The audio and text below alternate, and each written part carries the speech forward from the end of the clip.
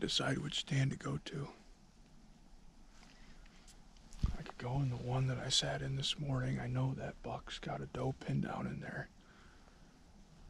But I don't know if that's a deer I would even shoot after watching the video this morning. It looks decent, but it wasn't HLB or the Big Six. Got a good win for each, both of these stands, the one that's in deep or this one. I'm just gonna flip a stone or something.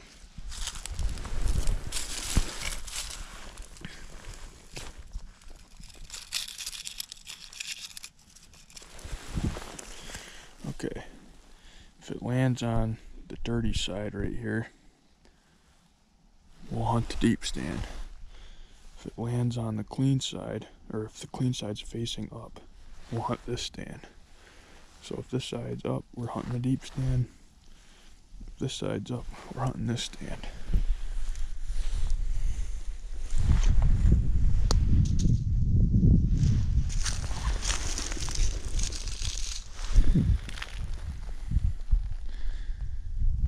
We're hunting the deep stand.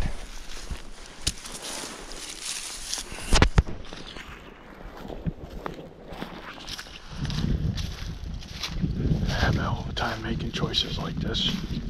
Think about the positives of each and then the negatives of each, and then it's like a big mind game. We're heading in deep.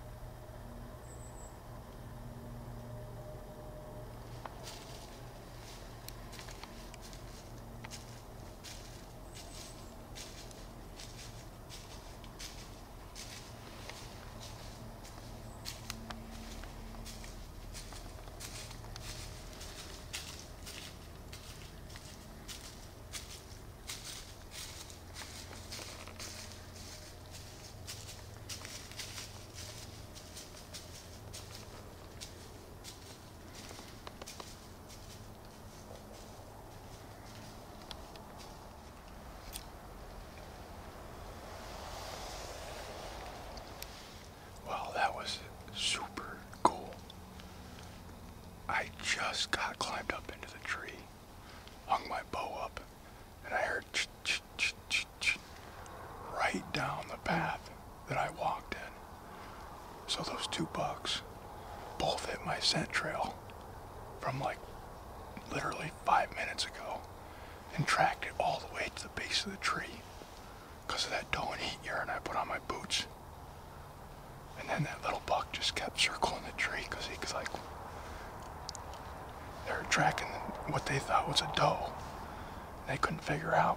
stopped.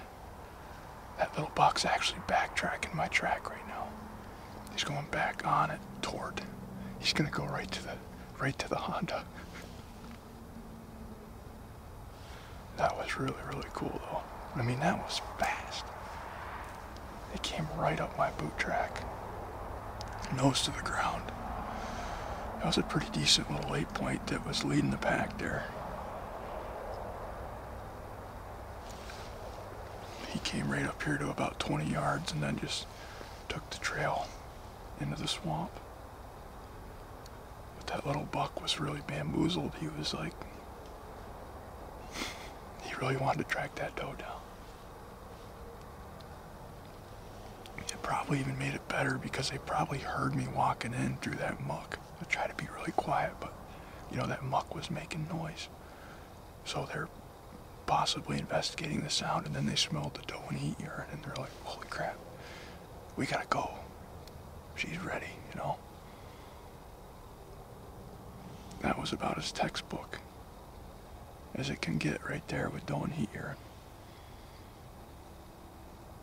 Now, if only that was HLB that was following me down. That's a heck of a good start, though.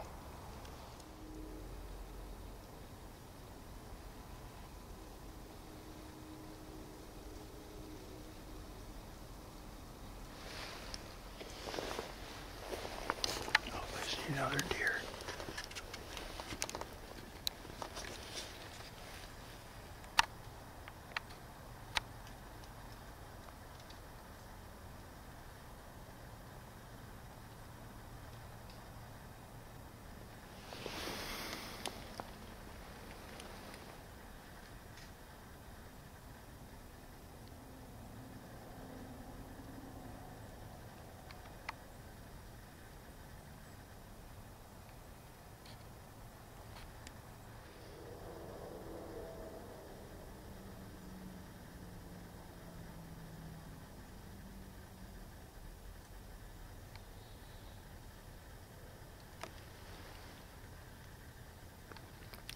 That's a different book.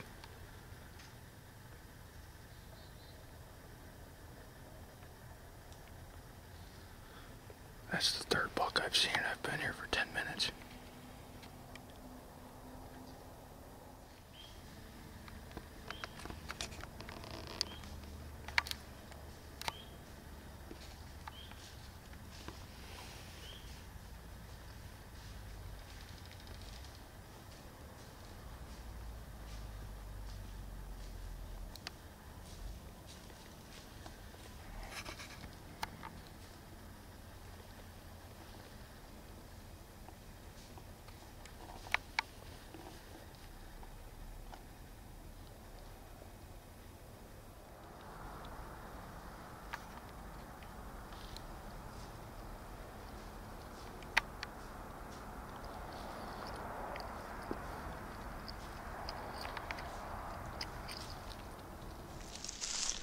I've been in that stand for 15 minutes and seen three different bucks. And we're moving to a different stand. I just got a picture of HLB deep in, the deep part of the swamp. And I know what stand he's gonna go by to come out this evening. So we gotta get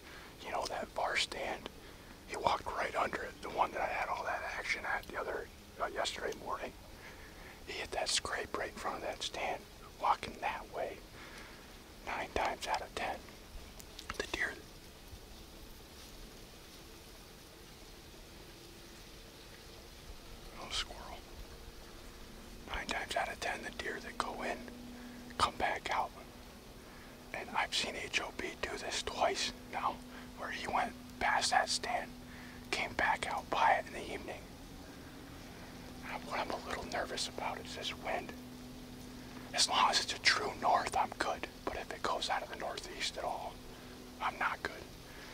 I put a lot of that doe and extra scent on my boots though, so maybe it could cover it for me. I don't know.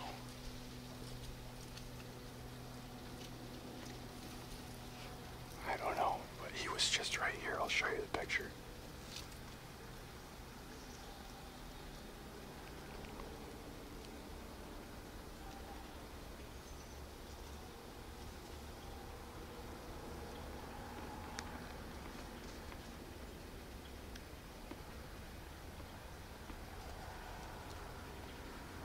And then the next picture is him going back.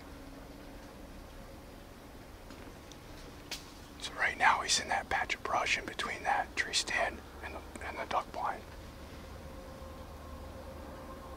Hopefully I can catch him coming back through here tonight. It's kind of crazy for leaving that other stand. I'd only been in there for 15 minutes and seen three different bucks. But bucks down here and only two that I'll shoot, so. And this is one of them right up here.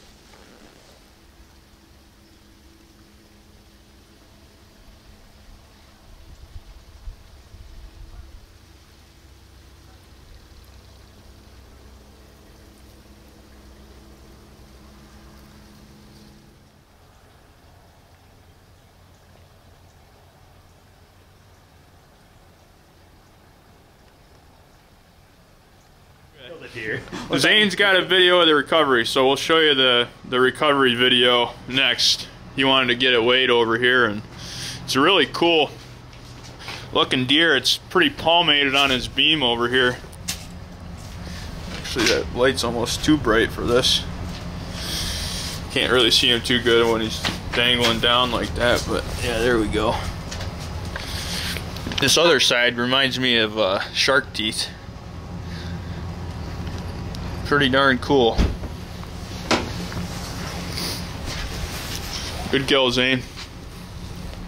Alright, so I know I didn't get any of that on video. There might be a little bit of him running off, but I just shot nine point that I've been watching. I got him ever since Velvet. Um, he kind of he had a really cool like 90 degree bend in his G3 that he and he broke off, but I had a lot of action this morning. I saw four different bucks. Had a little seven come through really early. Then I saw down the ridge over that way. There was two little bucks working their way down. I was paying attention to them. And I heard a twig pop behind me. And I looked and that nine was at 20 yards behind me. He came walking up through to right here and was smelling where I had brushed up against these briars. And I was right there. I mean, he was at five yards. He ran out around all this to right here.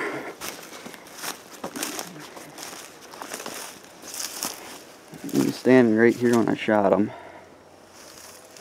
Uh, there's my arrow vein popped off, but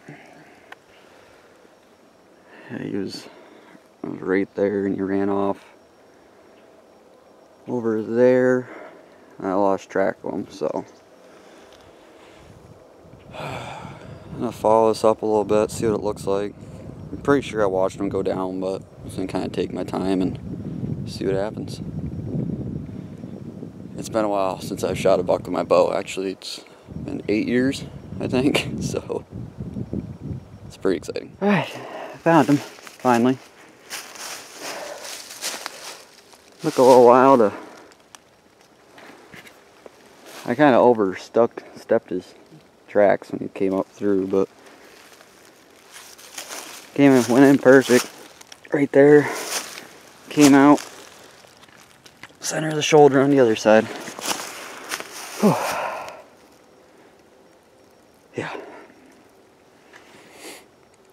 I'm happy with that. It's been some time coming for me to finally, uh, finally put something together on a buck that I had pictures of and kind of made the plan to try and kill this, kill in the year. So, yeah, still got one other buck with uh, my eye on. So maybe try and get that done in rifle season, but I'm happy. 2022 archery buck. Um, like I said in the beginning there, uh, I kind of hate I didn't get it on video because I do have a lot of history with this deer um, from last year and this year, but it just it happened so quick. There's I couldn't. It was all I could do to even grab my bow. Um, I had two small bucks coming down this ridge behind me towards my stand where I got a mock scrape, and uh, I put out a, uh, some scent wicks of white lightning on it this morning, and I was watching them because I could see the first one, and I could hear another one with them, and I at the time I didn't really realize it was just another smaller buck. I thought maybe it was following a doe or something, but I was paying attention to them. And then I heard a twig pop behind me. And I looked behind me and he was already at 20 yards behind me. Um, he walked right to the base of my tree and was smelling the little briars. This whole bottom was just a bunch of greenbrier. And he could smell where I had bumped into it and he was at probably five steps but I had to wait forever for him to take a step underneath me. And when he did I started to draw as slow as I could uh, but he caught me. And he jumped out to about 15 yards and stopped and I let him have it. Uh, went in perfect behind the shoulder came out center of his opposite shoulder. Um, double lung, might have clipped the heart also, and he only went, I mean, I'm probably only 60 yards from my stand right now, but he did a little bit of a hook. Um, yeah, I'm happy. I kind of like the whole, it's all in each their own thing, but when you can kind of pick a buck out and target that buck, that's, that's what's fun to me. Um, just trying to figure out one single deer. But I do have another buck in here that I've been kind of chased around a little bit also. So unless my dad can get a shot at him in archery season, I'm be looking to looking to get him in rifle. So, but I get him taken care of. It is. It's a ways out of here, but yeah, I'm happy with him. He's not the biggest thing in the world horn-wise, but he's an older deer, and uh, I'm happy with it. As you can see, we're back at the house, and my game plan for the night didn't end up working out. Uh, HLB did not come back down the gator path like he has in the past when I've caught him on that higher camera there. And uh, I ended up just seeing some does that went out into the field across the creek from me. And uh, somebody that was hunting on the neighbors actually shot at HLB tonight and missed him. So after I moved and got into where I was, he must have either winded me or just cruised across the road or something. Either he went down on the other side of the creek and then crossed the road, or he uh, went down the main ridge and crossed the road. Anyways, he left Cherry Ridge that night and ended up over on the neighbors. The neighbor actually missed him and uh, HLB lives to see another day. So it's unfortunate for the neighbor that missed him, but he was certainly excited to get a shot opportunity at him and see him. Uh, so we'll be back after him in the morning. It seems like with this deer, every time I zig, he zags. It's really been frustrating to hunt, especially with these cell cams, you know. I was set up in the first spot tonight and it was absolutely awesome. I mean, I had literally three bucks on me within minutes of me getting in that stand. And then I got the cell picture of HLB over in the creek bottom and it's like, well, you know, quite frankly, it doesn't matter if I see 15 bucks in the stand I'm at. There's only one deer I'm probably going to shoot and it's going to be HLB. So I might as well go hunt the one deer down there rather than sit here and watch a buck parade go by of deer that I'm not going to shoot. So that was kind of my intentions or thoughts, and the and where I was at, I was not going to see HLB. It was a long ways away from where he was on the creek bottom, uh, but it is what it is. It was still an exciting an exciting evening. I was on literally on pins and needles the entire evening. I was sitting there thinking that you know, the next leaf that cracks is going to be him coming down the trail. Uh, just didn't end up being that way. Uh, we'll be back after him in the morning. We'll see you then.